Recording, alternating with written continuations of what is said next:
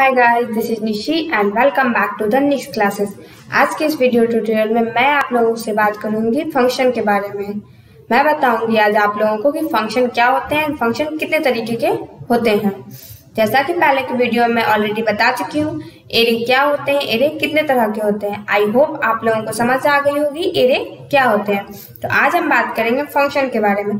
तो कह सकते हो आप कि function is a self content subprogram क्या कहा जाता है? Function is a self content subprogram means that function एक ऐसा सब प्रोग्राम है जो खुद से डिफाइन होता है एंड उसके अंदर वैसा स्टेटमेंट लिखा जाता है, जिसे आप मेन फ़ंक्शन के अंदर बार बार यूज़ करना चाहते हो, वैसा स्टेटमेंट को हम किसके अंदर लिखते हैं? फ़ंक्शन के अंदर लिखते हैं।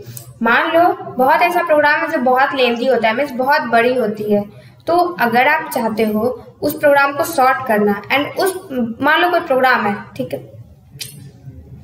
मान लो कोई प्रोग्राम है एंड वो बहुत ज़्यादा बड़ा है। उस प्रोग्राम में बहुत ऐसे स्टेटमेंट होंगी, बहुत ऐसे लाइन ऑफ़ कोड होंगी जो बार बार रिपीट हो रही होगी। तो वैसे लाइन ऑफ़ कोड को हम क्या करेंगे? एक फ़ंक्शन बनाएँगे एंड उसके अंदर उस लाइन ऑफ़ कोड को लिखेंगे एंड जहाँ भी उस लाइन ऑफ़ कोड की यूज़ होगी, वहाँ हम क्या करेंगे? उस फ़ंक्शन को कॉल कर लिया करेंगे।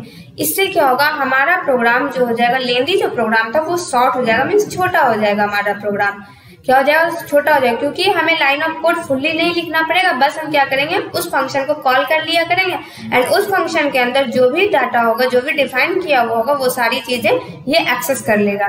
तो ऐसे हम फ़ंक्शन को डिफाइन करते हैं। तो इससे हमें क्या यूजफुल है? तो इससे क्या होगा, हमारा प्रोग्राम शॉर्ट होगा एंड क्या हो जाएगा कॉम्प्लिकेशन कम हो जाएगी।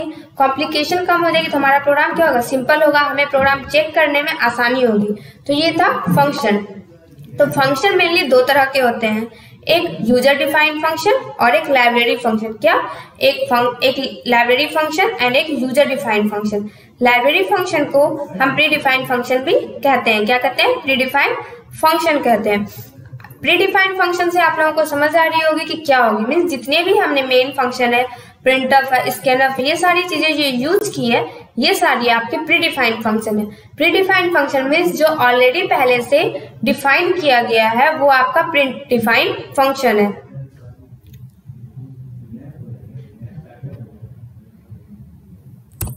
तो हमारा जो फ़ंक्शन है फ़ंक्शन वो दो तरह के होते हैं।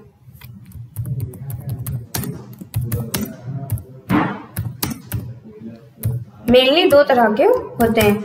फ़र्स्ट है आपका क्या? Predefined function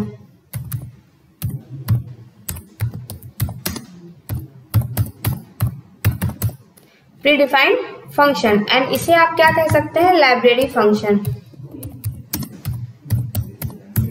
library function and second है आपका क्या?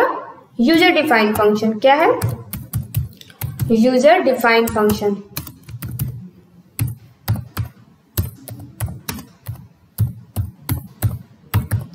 सेकेंड है आपका क्या? यूज़र डिफाइंड फ़ंक्शन तो लाइब्रेरी फ़ंक्शन क्या है?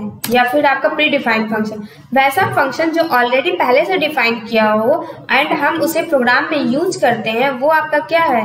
Library function for example for example मैं ले लेती हूँ. प्रिंटफ आप ले लो. प्रिंटफ है. स्कैनफ है. ये सारा है? क्या आपका लाइब्रेरी फ़ंक्शन है. गेट सी एच है. ये सब क्या है आपका लाइब्रेरी फ़ंक्शन है? तो क्या करते हो? अगर आपको प्रिंटअप यूज़ करना होता है स्कैनअप यूज़ करना होता है तो ये दोनों S T D O dot H के अंदर आता है। गेट सी एच आपका कोनियो डॉट एच के अंदर आता है। तो प्रिंटअप का क्या काम है? इसका क्या डिफिनेशन है? वो सारा क्या आपका लाइब्रेरी फ़ंक्शन में डिफाइन किया गया है। एंड जब हमें यूज़ करना होता है, बस प्रिंटअप को हम क्या करते हैं? कॉल कर लेते हैं। तो इस तरीके से हमारा कोड लेंदी नहीं हुआ। प्रिंटअप का जो भी डिफाइंड फ़ंक्शन प्रिंटअप का जो प्रिंटअप का जो भी वर्क है, वो ऑलरेडी लाइब्रेरी फ़ंक्शन में डिफाइन किया हुआ है। एंड जब भी हमें यूज़ करना होता है, क्या करते हैं? हम बस उसे कॉल कर लेते हैं। तो इस तरह से फ़ंक्शन क्या है? इजियली फ़ंक्शन क्या करता है? हमारे प्रोग्राम को वो सॉर्ट कर देता है। मीन सिंपल तरीके से हम प्रोग्राम बना सकते हैं। हमारा प्रोग्राम लेंदी नहीं होता है। स्कैनअप है गेट सी है। तो ये सारा का डिफिनेशन पहले से ऑलरेडी डिफाइन किया गया एंड जब हमें यूज़ करना होता है तो बस हम क्या करते हैं? कॉल कर लेते हैं। तो हमें जब यूज़ करना होता है, बस हम क्या करते हैं इसे? कॉल कर लेते हैं। ये था आपका प्री डिफाइंड फ़ंक्शन सेकेंड है आपका क्या? यूज़र डिफाइंड फ़ंक्शन तो यूज़र डिफाइंड फ़ंक्शन क्या होता है? वैसा फ़ंक्शन जो यूज़र डिफाइन करे मीन्स हम और आप खुद से डिफाइन करें, वो आपका यूज़र डिफाइंड फ़ंक्शन होता है। तो user defined function mainly four तरह के होते हैं। फ़र्स्ट में आपका आ जाता है फ़र्स्ट में यूज़र डिफाइंड फ़ंक्शन है। यूज़र डिफाइंड फ़ंक्शन मेनली चार तरह के होते हैं फोर टाइप के होते हैं। No arguments no return type first second no arguments return type no return type arguments return type argument चार तरह के होते हैं। क्या है first no arguments no return type second है आपका no arguments return type return type second है आपका sorry one minute first no third number में आपका है arguments argument no return type no return type and fourth number में आपका है return type and arguments means argument and return type no arguments and no return type arguments and no return type.